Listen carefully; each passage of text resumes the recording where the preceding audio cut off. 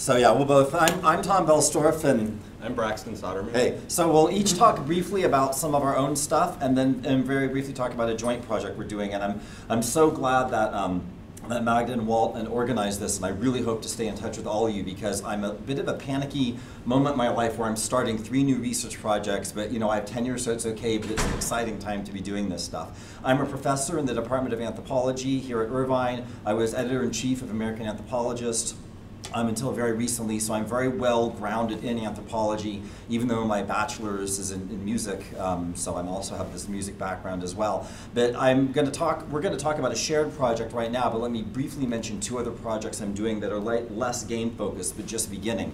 This summer, I'm going to be going back to Indonesia to begin a new project looking at queer social media in Indonesia. I've been going to Indonesia since 1992. I speak the language fluently. My first two books, The Gay Archipelago and A Coincidence of Desires, are both about gay, lesbian, lesbian, transgender subjectivity in Indonesia.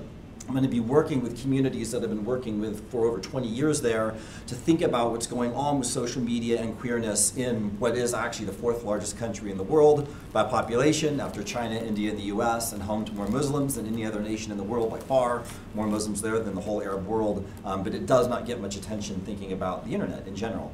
The second project that I'm going to be doing uh, beginning in July is I have a national, new National Science Foundation grant from Anthropology and um, STS that I'm doing with a colleague at University of Oregon on new cultures of disability.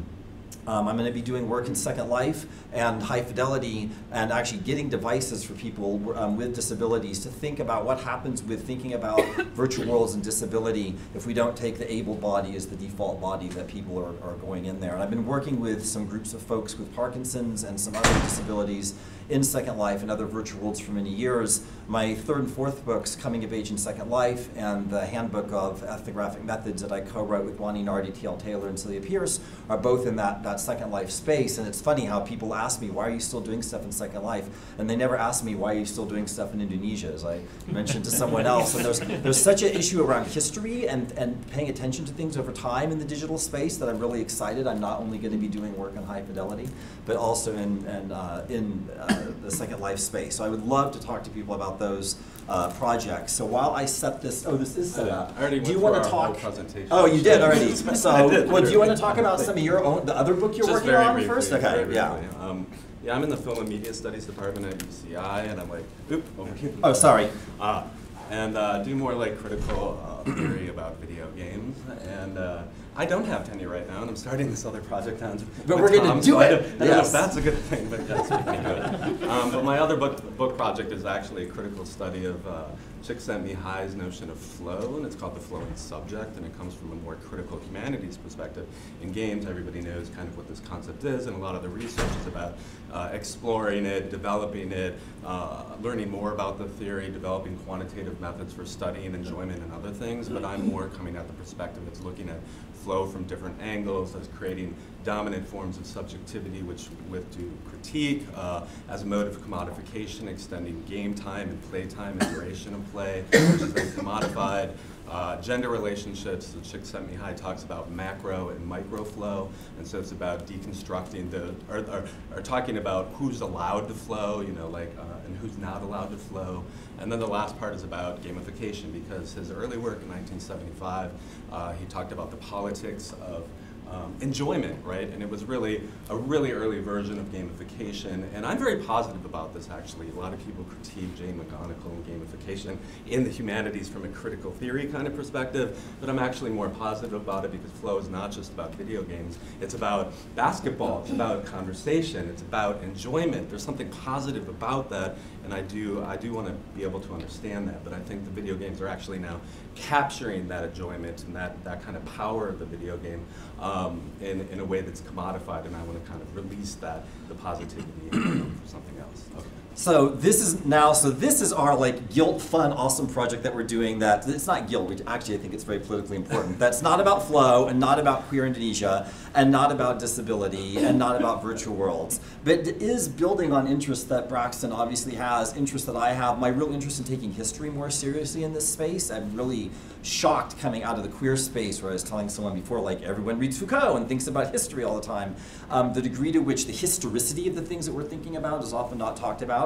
So our, our project, and this is brand spanking new, so we're just making this up as we go along right now, but it's going to be totally fun. We are right now calling Intelligent Visions platform cultures, and the Intellivision system. And this is an attempt to rethink what's known as platform studies in a generous way, but doing something quite different than what's been done with that before.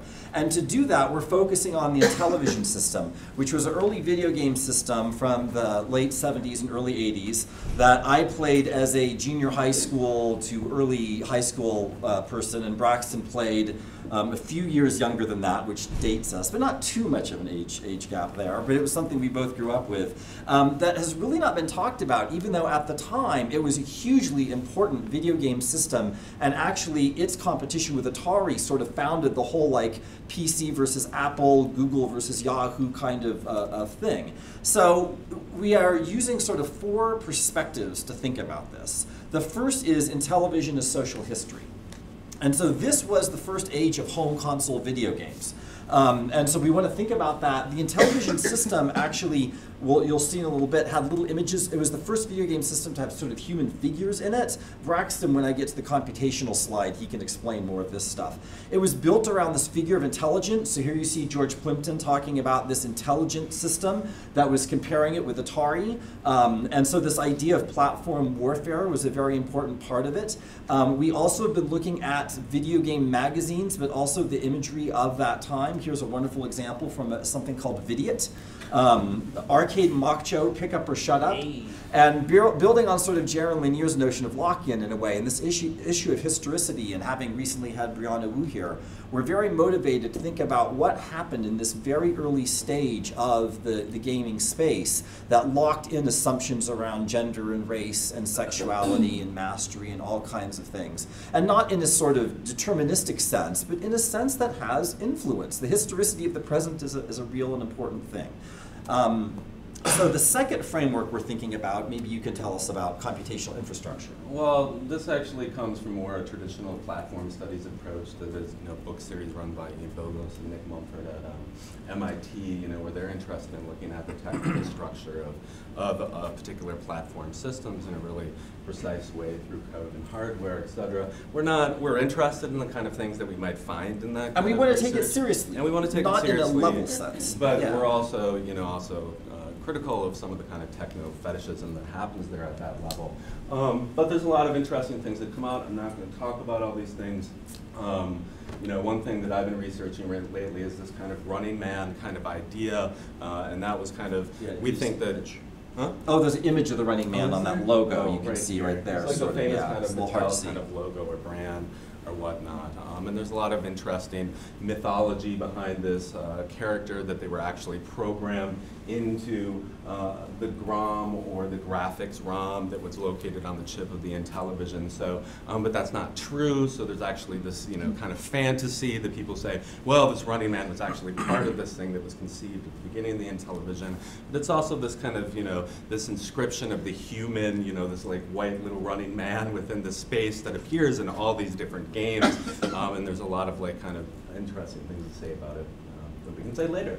Uh, the other thing I'd just say is like the exec was maybe for the first OS to happen on a gaming system uh, where, you know, instead of uh, programming directly in assembly, uh, people were actually, or there was one program that built an OS that you could then call functions from, and so it actually helped with programming a lot, but at the same time, the executive was also very frustrating uh, to work with, and a lot of programmers built around it, so we're interested in how uh, that those kind of power structures also kind of appear within the technical hardware. And just to note, so the Intellivision was the first system in some ways where figure of the human appeared in a particular way in gaming, and also this notion of intelligence against Atari, um, which was ships, spaceships that fought, right? So there's something interesting there. And oh my God, if you've never played Intellivision, the controllers, which are clearly influenced by television, uh, by telephones at the time, they're so awesome. We have a little lab with Intellivisions over in Anthropology we're playing with. It's so much fun. Um, we won't talk about other stuff with this now, just like three more slides.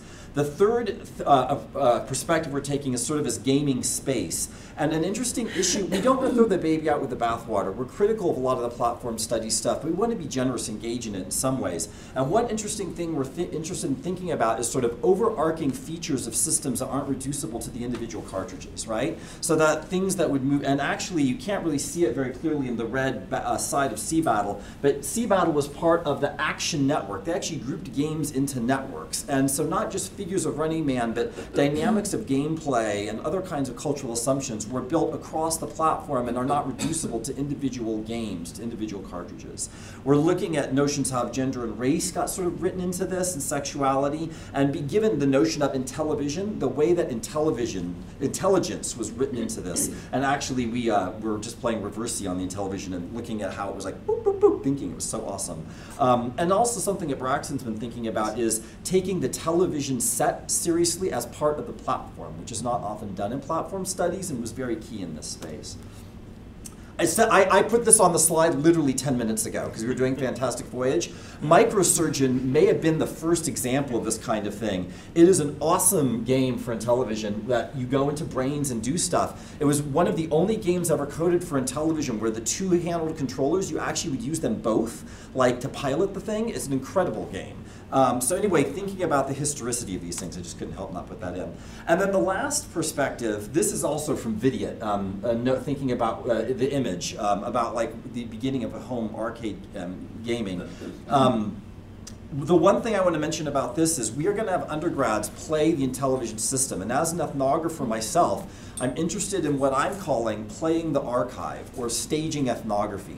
What does it mean to have undergraduates at Irvine use their literacy skills, digital literacy skills, and actually I'm going to videotape them, video them using these controllers and playing these games, not because what they experienced is the same as what I or Braxton experienced, but in addition to doing oral histories with designers and players, we want to think about what that contemporary perspective could get us and how this helps us think about archive work in a different way when you can actually play the archive um, is something that has actually not been written about hardly ever, and actually platform studies people don't do that typically. So that's a method that we're going to use to think about this notion of digital experience. Any other pieces of this you wanted to say something about? We're, we're at good time. We're okay, yeah, yeah. So thank you, and we're excited about all these things that we're doing that we still don't know what the hell we're doing, but we look forward to working more with all you and, and building these networks. Thank you.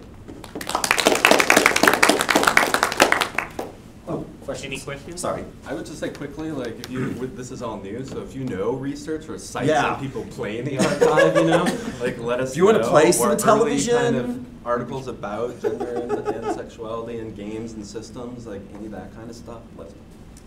So uh, I was talking a bit to Tom about this last night, but I remembered the reference, which I couldn't recall then, uh, which is that uh, Nathan Ensmenger in the Department of Computer Science at Indiana University, Bloomington, That's right. has done some fantastic work looking at the gendering of computer science. He's, he's got a book that just came out called The Computer Boys Takeover that looks at how computer engineering started as a feminine profession and the ways in which sort of rhetoric, rhetorics of masculinity uh, and rhetorics of a male workspace overtook computer science and turned it uh, into a very gendered profession. Wendy And- Chung writes on Wendy that.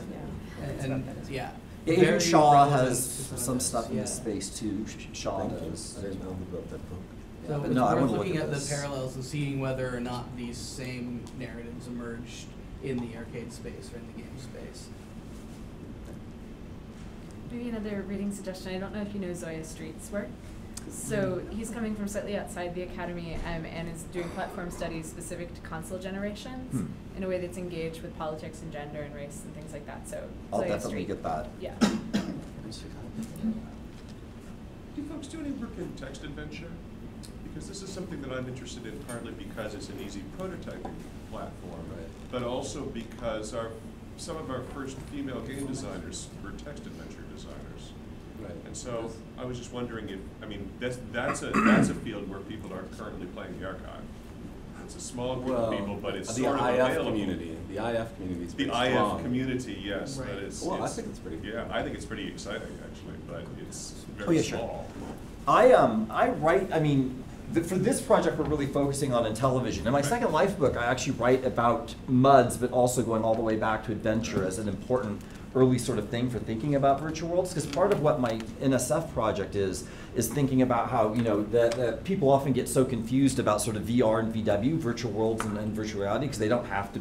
It's like a Venn diagram, and we're in a moment now where new kinds of overlappings are happening with these things, and the text stuff is really helpful for parsing. The text stuff is helpful for parsing that out. Yeah. Um, so it is something that's interesting to, to read. Looked at before with my Second Life work. I want the new furry mug. I don't know what it is, but I want the new furry mug. Yeah. All right, thank you very much.